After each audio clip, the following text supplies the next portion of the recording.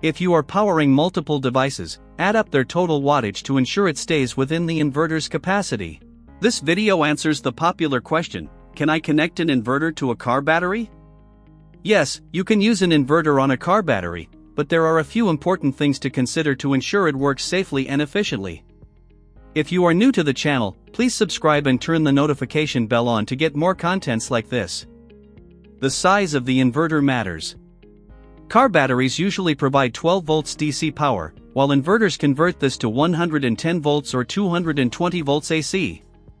Ensure the inverter's wattage matches the power requirements of the devices you plan to run. Small devices like chargers and lights are fine, but high-power appliances like refrigerators or power tools might be too much for a standard car battery and inverter setup. Car batteries are designed for short bursts of high power to start your car. Running an inverter for a long time can quickly deplete the battery, especially when the engine is off. It's best to use a deep cycle battery for longer or more power intensive use, as they are designed for sustained power draw. As you draw more power from the battery, its voltage will drop. If the voltage drops too low, the inverter may shut off, or the battery could become damaged. Some inverters have low voltage cutoffs to protect the battery. If you plan to run the inverter while the engine is running, make sure the car's alternator can supply enough power to keep the battery charged while also powering the inverter. Otherwise, you may overtax the alternator or drain the battery even with the engine running. Car batteries have limited capacity, usually measured in amp hours. If the inverter and devices connected to it draw more power than the battery can provide, the battery will drain quickly. For instance, a standard car battery might only last a few hours when powering a small device like a laptop, but much less for power-hungry devices. Make sure the inverter has built-in protections like overload, short circuit, and overheating protection. You should also ensure proper ventilation around both the inverter and the battery to avoid overheating.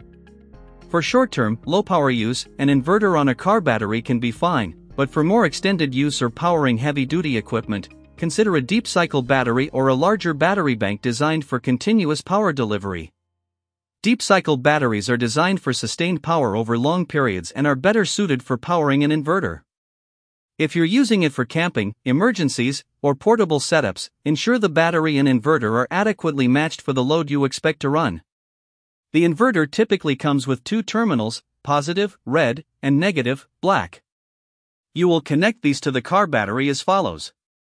First, attach the red or positive cable from the inverter's positive terminal to the positive terminal of the car battery. If you are using a fuse or circuit breaker for safety, connect it between the positive terminal of the battery and the inverter. Then, connect the black or negative cable from the inverter's negative terminal to the negative terminal of the car battery. Make sure all connections are secure, and the cables are of the right gauge, thicker cables for higher wattage inverters. Check that there are no loose or exposed wires that could short circuit. For added safety, you can install a fuse or circuit breaker between the inverter and the battery on the positive, red, cable. This prevents electrical overload and protects the system from short circuits or excessive current. Select a fuse rated for your inverter's wattage, e.g., if your inverter draws 100 amps, you should use a fuse rated for at least 120 amps. Before connecting any devices, turn on the inverter and ensure it powers up properly. Most inverters will have an indicator light or display to show that it is functioning. Also, check for any unusual noises or heat buildup around the inverter and battery. Once the inverter is running, you can now plug your devices into the inverter's AC outlets. Make sure you do not exceed the inverter's wattage rating. If you are powering multiple devices, add up their total wattage to ensure it stays within the inverter's capacity. When using the inverter, the car battery will drain more quickly than usual, especially when the engine is off. Here's how to manage the battery.